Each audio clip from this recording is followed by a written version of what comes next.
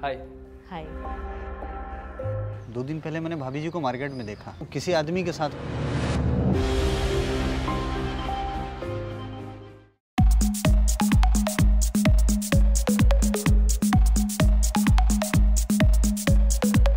हाल ही में कांग्रेस नेता शशि थरूर ने खुलासा किया है कि उन्हें एक मशहूर फ़िल्म निर्देशक ने एक फ़िल्म ऑफ़र की थी।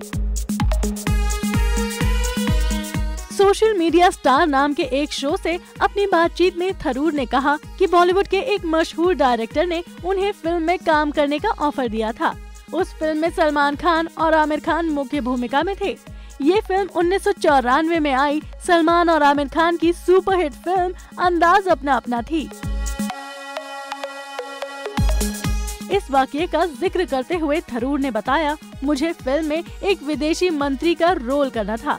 लेकिन मेरे एक अच्छे दोस्त ने मुझे सलाह दी कि तुम्हें विदेश मंत्री बनना है तो विदेश मंत्री के रोल के बारे में ज़्यादा मत सोचो।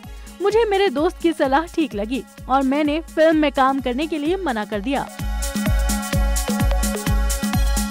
शशि थरूर ने जब इस फ़िल्म में काम करने के लिए मना कर दिया तो उनकी तरह दिखने वाले एक शख्स ने ये छोटा सा किरदार फ़िल्म में किया था। फ़िल्म अंदाज अपना अपना के एक बस सीन में सलमान और आमिर के पीछे सफ़ेद कपड़ों में दिखाए गए उसी एक शख्स को लोगों ने शशि थरूर तक मान लिया था।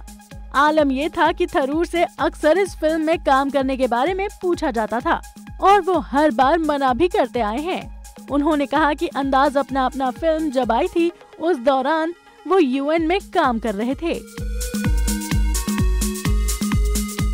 अभी वीडियो को लाइक करें, शेयर करें और अभी चैनल को सब्सक्राइब करें। इसी तरह की चटपटी न्यूज़ देखने के लिए फिर मिलेंगे मसालेदार खबरों के साथ। Bye bye.